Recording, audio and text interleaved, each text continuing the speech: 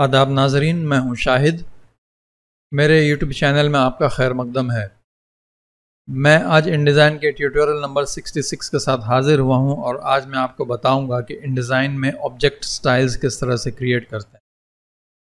Video शुरू करने से पहले मेरी आपसे गुजारिश है कि अगर आपने मेरे चैनल को सब्सक्राइब नहीं किया है तो उसे ज़रूर सब्सक्राइब कर लें और मेरी वीडियोज़ अगर पसंद आते हों तो लाइक भी करें और उसे आगे शेयर भी करें। तो चलें शुरू करते हैं। इन डिज़ाइन में मैंने ये तीन इमेज प्लेस करके रखे हुए हैं और अब मैं आपको इसकी गाइडलाइंस ऑफ़ करके दिखाता हूँ कि इमेज किस तरह का दिखेगा। तो मैंने डब्लू प्रेस किया तो आप देखेंगे प्रीव्यू मोड ऑन हो गया है और इसमें आप देख रहे हैं कि ब्लैक बॉर्डर है और स्टाइल दिया हुआ है इन तीनों में कैप्शन में और ये दो इमेजेस जो हैं इसमें कोई बॉर्डर नहीं है और कुछ भी स्पेशल इफ़ेक्ट कहीं कुछ भी नहीं दिया हुआ है। और इसलिए ये इमेजेस ज़रा सी फीकी लग रही हैं। इसमें एक हल्का सा साइन ब्लू बॉर्डर है। तो अगर आपको साइन ब्लू बॉर्डर चाहिए तो साइन रख सकते हैं। तो ये मुझसे गलती से साइन हो गया था मुझे इसे ब्लैक करना था। एनीवे anyway, मैं इसे अभी ऑफ़ कर देता हूँ। ये मैं इसे ऑफ़ कर देता हूँ। तो अभी आप देखेंगे कि ये तीनों पिक्चर्स बहुत फीकी लग रही हैं, इसमें कोई जान महसूस नहीं हो रही तो अब मैं डब्लू प्रेस करता हूँ अपने कीबोर्ड पे प्रीव्यू मोड से बाहर निकलता हूँ मैं और अब इसमें मैं कुछ स्टाइलिंग दूँगा इस इमेज में। तो मैं पहले एक पिक्चर को स्टाइल कर लेता हूँ, उसके बाद फिर मैं उस स्टाइल के बेस पे अपना ऑब्जेक्ट स्टाइल बनाऊँगा।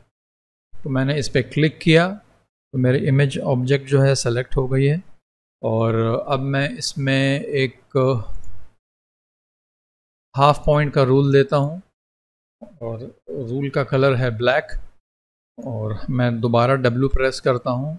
अब आप देखेंगे कंपेयर टू अदर इमेजेस ये कुछ बेहतर अब लगने लग गई है। तो मैं इसे डब्लू करता हूँ, वापस आता हूँ प्रीव्यू मोड से बाहर। और इसमें अभी मैं एक इफ़ेक्ट और डालूँगा। मैंने इस पर किया क्लिक और यहाँ देखते हैं विंडोज़ में ये इफ़ेक्ट्स का पैनल खोलूँगा मैं और यहाँ एफ़ एक्स पे क्लिक करूँगा। ये एफ़ एक्स पे मैंने क्लिक किया और यहाँ से ड्रॉप शेडो सेलेक्ट करूँगा मैं। तो आप देखेंगे कि प्रीव्यू मेरा ऑन है, यहाँ पे टिक किया हुआ है, इसलिए ड्रॉप शेडो यहाँ पे आप देख पा रहे हैं। तो इस ड्रॉप शेडो का डिस्टेंस मैं ज़रा सा कम करता हूँ। और इसकी नॉइज़ दे देता हूँ टू परसेंट नॉइज़ ना भी दें तो भी चलेगा बट जनरली वन या टू परसेंट सफिशेंट रहता है। थोड़ा रियलिस्टिक लगता है। तो अब मैंने इसे कर दिया ओके अब मैं दोबारा डब्ल्यू करता हूँ प्रीव्यू मोड में जाने के लिए। तो अब आप देखेंगे कि कुछ बेहतर हो गई है इमेज तो मैं अब, मुझे ये पसंद आ रही है मैं सेटिस्फाइड हूँ क्योंकि मैंने जो स्टाइल यहाँ बनाया है वो ठीक है तो मैं इसे अब स्टाइल बनाऊँगा इसके बेस पे। तो मैंने इस पर किया क्लिक और ऑब्जेक्ट स्टाइल्स का विंडोज़ खोलूँगा मैं। यहाँ पे खुला हुआ नहीं है मेरे पास तो मैं यहाँ विंडोज़ में जाऊँगा और स्टाइल्स में जाऊँगा और ऑब्जेक्ट स्टाइल्स क्लिक करूँगा। तो ये ऑब्जेक्ट स्टाइल्स का पैनल यहाँ पे खुल गया। इसे मैं अभी बंद कर देता हूँ, इसकी ज़रूरत नहीं मुझे अब।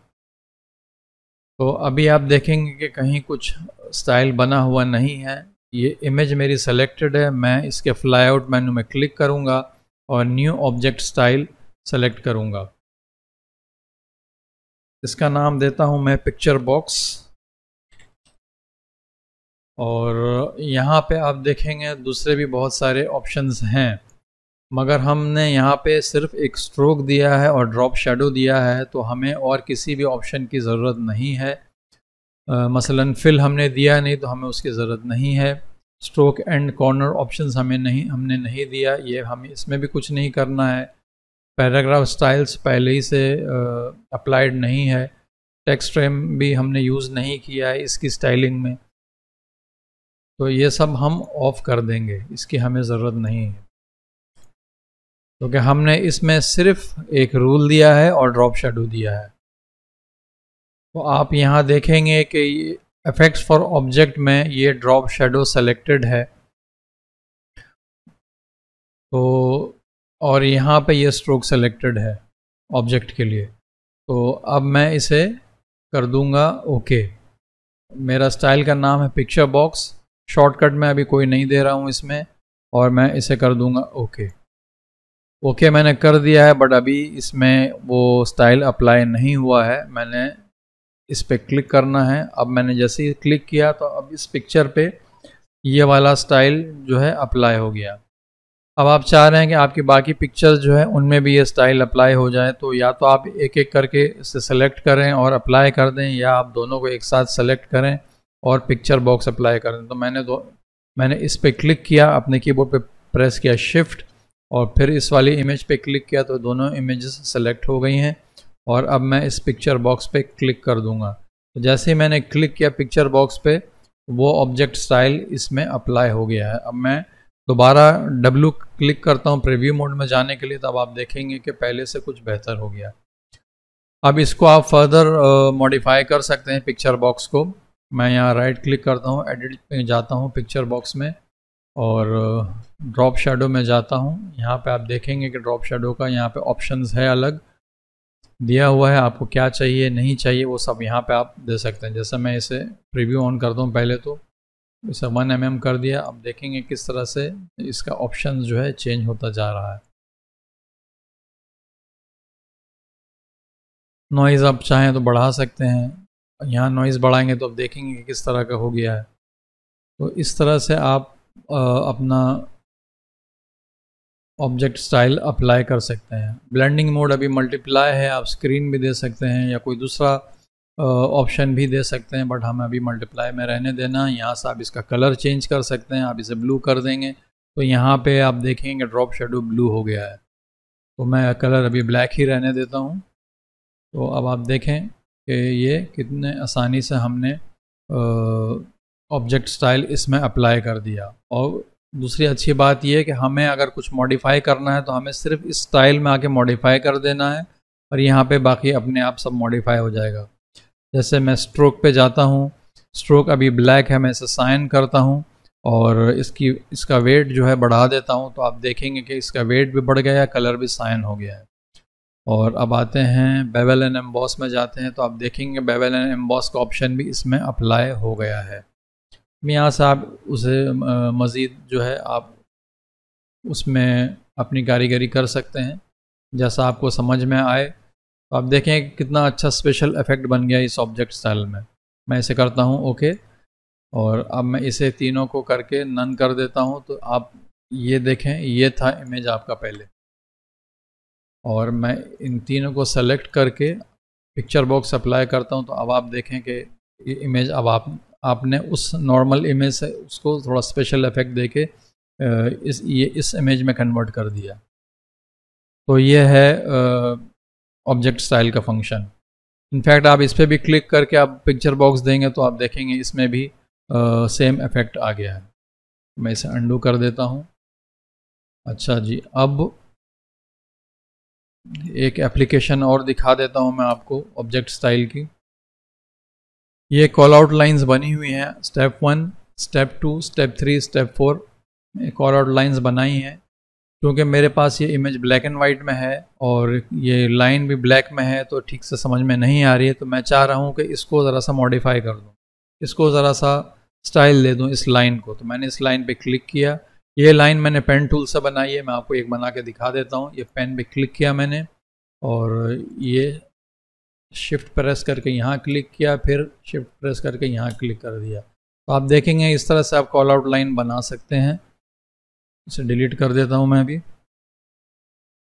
तो इस पर मैंने किया क्लिक और अब मैं जाऊँगा स्ट्रोक्स में। स्ट्रोक्स यहाँ मेरे पास खुला हुआ नहीं है। तो कहाँ गया? प्रॉपर्टीज़ ये रहा। ये रहा स्ट्रोक तो इस स्ट्रोक पे मैंने क्लिक करना है यहाँ पे। अब आप देखेंगे कि यहाँ सारा ऑप्शन खुल गया है और इसका स्टार्ट और एंड यहाँ पे मौजूद है। स्टार्ट पे मैं देता हूँ ये वाला एरो और एंड में मैं कुछ ऐसा सर्कल सॉलिड कर देता हूँ और इसका वेट बढ़ा देता हूँ। तो आप यहाँ देखेंगे कि वेट इसका बढ़ गया यहाँ पे, किस तरह का लग रहा है अब ये। और इसमें अब कलर चेंज कर देता हूँ मैं। कलर यहाँ से भी चेंज कर सकता हूँ मैं। मैं इसको कर देता हूँ। रेड कर देता हूँ। तो ये अब आपको पसंद आ गया कि हाँ ठीक है, मेरा कॉल आउट लाइन जितनी भी मेरी कॉल आउट लाइन्स है, वो इसी स्टाइल में रहेंगी। तो आपने इसे किया क्लिक इसको किया सेलेक्ट और ऑब्जेक्ट स्टाइल्स के पैनल में आए आप। आप या अपने कीबोर्ड प्रेस करें ऑल्ट और यहाँ पे करें क्लिक या दूसरा ऑप्शन ये है कि ऑब्जेक्ट स्टाइल्स के फ्लाईआउट मेन्यू में क्लिक करें और न्यू ऑब्जेक्ट स्टाइल्स में जाएँ। और यहाँ पे कॉल आउट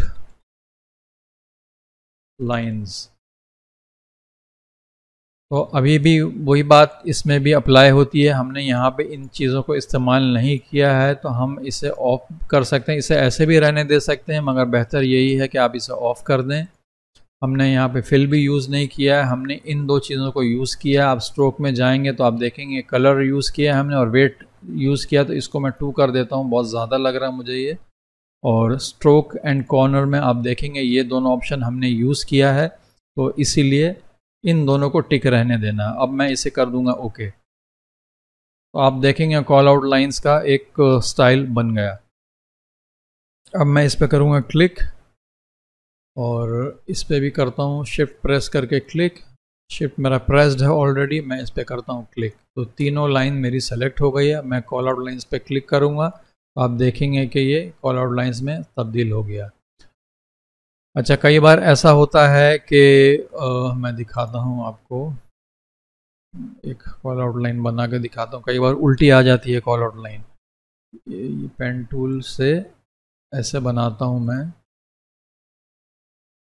ये मैंने कॉल आउट लाइन बना दी। और इस पे मैंने कॉल आउट लाइन्स पे ये अप्लाई कर दिया। तो आप देखेंगे कि एरो यहाँ आ गया और जहाँ पे कुछ लिखना है हमें, वो यहाँ चला गया। तो आप उसके लिए आप इस पर क्लिक करेंगे और ऑब्जेक्ट में जाएँगे और पाथ्स में जाएँगे और ये रिवर्स पाथ सेलेक्ट कर लेंगे तो ये इसका पाथ रिवर्स हो जाएगा। तो इस तरह से आप ऑब्जेक्ट स्टाइल्स को इस्तेमाल कर सकते हैं अपने डॉक्यूमेंट्स में। तो जनाब, आज की वीडियो में बस इतना ही है। आपसे मिलता हूँ अगली वीडियो में किसी दूसरी टॉपिक के साथ।